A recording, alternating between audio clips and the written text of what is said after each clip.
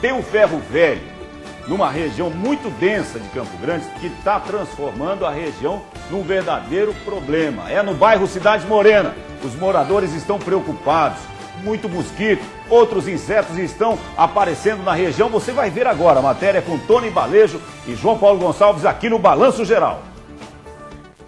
Região sul de Campo Grande, estamos no bairro Cidade Morena, rua Onda Verde, bem próximo à Avenida Gorimarque, saída para São Paulo.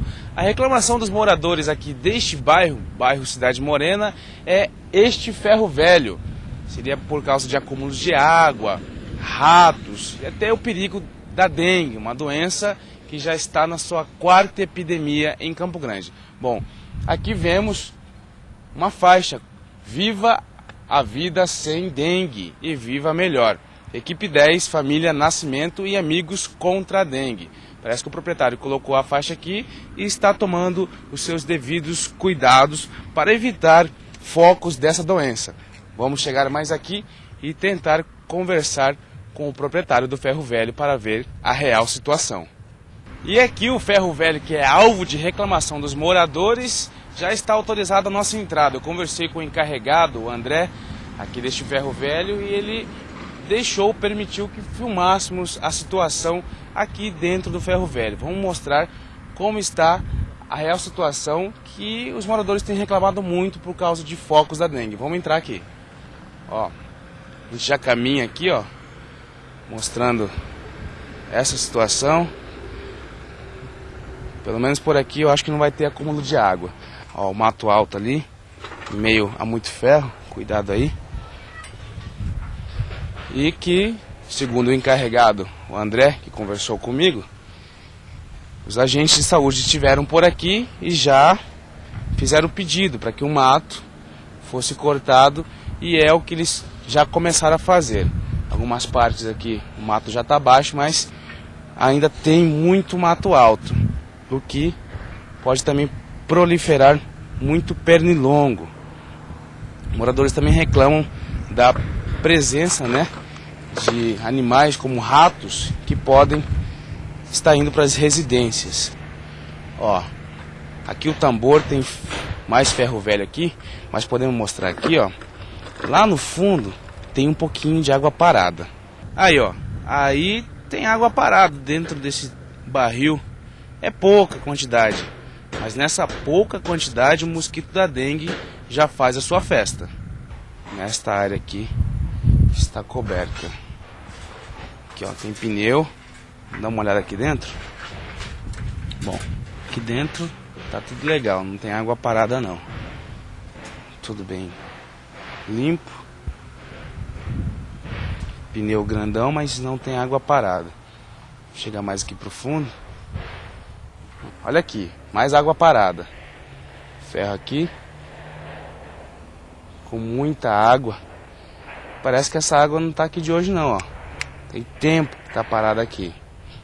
Olha, esse ferro velho aí foi a pior coisa que, que aconteceu aqui no nosso bairro. Depois desse ferro velho aí, é uma rataiada que aparece aqui, a pernilongaiada, a gente não tem sossego. De tarde aqui a gente senta para sentar, pra sentar, a gente senta aqui na frente aqui, ó, quatro, cinco horas já começa a pernilonga. À noite ninguém dorme. A lapa de um calango que apareceu ali. Não, e naquele, naquela água lá, além de sapo, tem também muitas outras coisas, viu? Que perigo. Ninguém é contra Ah, o trabalhador, ninguém é contra você trabalhar, montar o seu comércio, não. Agora, viva a vida sem dengue e viva melhor. Tá aí, inclusive, uma faixa né, que foi posta ali por certamente por alguma equipe. Né, alguma equipe daquela gincana do combate à dengue do que a prefeitura organizou. Tá feito o alerta e outra, hein, Rodrigo? Tem outros ferros velhos na cidade. Muitos, rapaz, muitos mesmo Acumulando- ali. Olha, eu sei de um grande, inclusive, que fica ali bem pertinho é, do Copa Rádio. Tem um ferro velho ali, baita de um ferro velho. E ó, você disse bem, Alcides, é, nós não estamos contra o trabalho de ninguém. Nós não estamos querendo aqui falar que está errado, o culpado pela dengue são os ferros velhos. Nada disso. Apenas a gente quer que o empresário cuide do que ele tem, né? E também as donas de casa, os moradores, né? As pessoas tenham um cuidado extremo pelos quintais. Semana agora o prefeito falou aqui, o jornalismo da TV MS Record, Na que casa na dele. casa dele foi encontrado o foco do mosquito da dengue. Portanto, e ele disse que ficou bastante envergonhado, afinal, a agente de saúde ainda mostrou, falou aqui, ó, tá, tem um problema aqui. Então, quer dizer, isso constrange sim, ainda mais o prefeito, que é quem pede encarecidamente a população para que tome conta das suas casas. 90% dos focos do mosquito da dengue estão nas casas. E ponto final, gente. Cabe à comunidade. Se a comunidade, se todos os moradores se empenharem, é, 90% dos focos vão ser exter- exterminados. Vamos pra cima É. desses mosquitos, né? Vamos combater isso aí, dando exemplo em atitude, Rodrigo Monteirani. E olha, ninguém escapa, né? O prefeito foi muito sincero ao admitir que dentro da casa dele tinha problema. Parabéns, viu, Sincero prefeito? demais. Porque realmente Sincero você tem que demais. admitir quando você está errado. Então nós todos, e aí eu digo nós todos, viu? Ninguém foge disso não. Nós temos que tomar atitude diariamente, porque o mosquitinho aproveita qualquer vacilo, lá coloca as larvas e aí todo Tá mundo feio, sofre né? com as consequências.